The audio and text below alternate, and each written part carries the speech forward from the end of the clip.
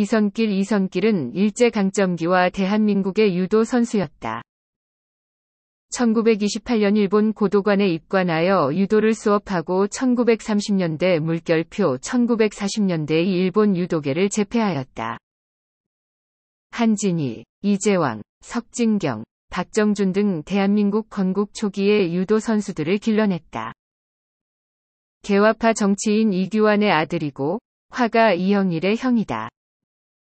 1932년, 1936년, 1937년, 1938년의 전일본 유도 선수권대회 선사권 대회에서 우승하고 1933년과 1935년에는 전일본 유도 선수권대회 준우승을 차지하였다.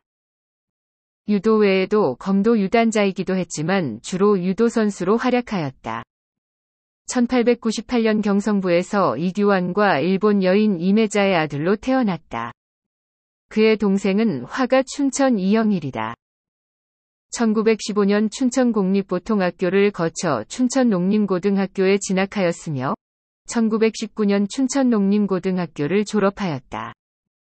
일본 유학을 다녀온 뒤 유도의 뜻을 두고 다시 일본으로 건너가 1928년 일본 고도관에 입관하였다. 이후 1930년대 물결표 1940년대의 조선 내 유도계와 일본 전국 유도계에서 우승을 차지하였다. 당시 일본 심판들은 처음에는 일본 선수를 편들었으나 이성길의 실력이 워낙 출중하고 기력이 왕성하다는 점을 인정, 어쩔 수 없이 그를 판정승을 주었다고 한다. 그는 경찰계에 투신하라는 주변의 권고를 거절하고 유도 선수로 생활하였다.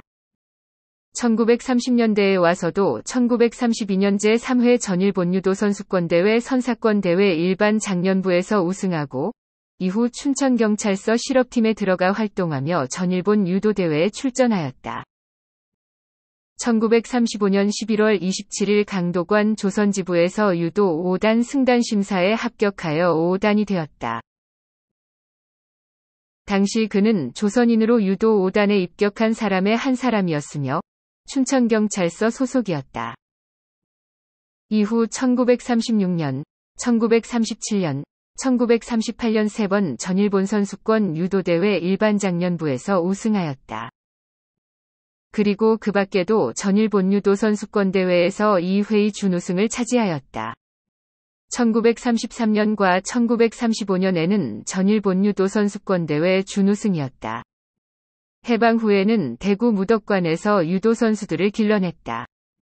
대구 무덕관은 당시 유도와 검도 도장을 겸하였다.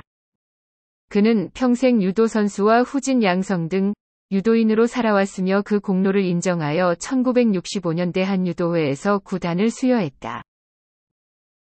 훗날 그의 문화생 중 한 사람인 유도 선수 박정주는 그를 추모하면서 제8회 전일본 선수권대회에서 그의 기세는 그야말로 무인지경을 가듯 세 번의 승부 시간을 합해 10분이 넘지 않았다. 고했으며 일본 선수들은 그의 괴력을 무서워하여 손과 발은 댈 수 없는 황이었다.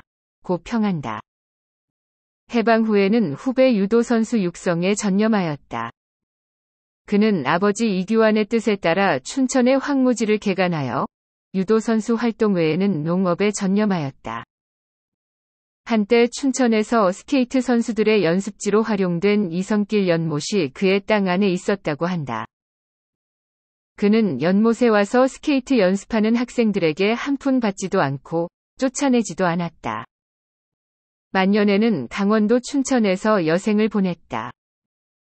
그의 아버지 이규환이 이승만, 서재필의 미국 생활비를 송금한 일과 상하이 임시정부로 돈을 송금해 주었던 점을 고맙게 여겼던 이승만은 1953년 이성길에게 신신백화점 부지 및 주변 토지를 무상으로 불화해 주겠다 제안하였으나 그는 분에 넘치는 것이라며 사양하였다. 1969년 11월 28일 대한민국 유도회에서 그에게 유도 구 단증을 수여하였다. 1971년 1월 2일 서울특별시 중구 신당동 426에서 3번지 자택에서 사망했다. 이성길은 유도계에선 신화적인 인물로 한국과 일본을 통틀어 실력으로 제패한 인물이다. 그는 유도의 꿈을 젊은이들에게 심어주었으며 그래서 유도계의 대부로 통한다. 시청해주셔서 감사합니다.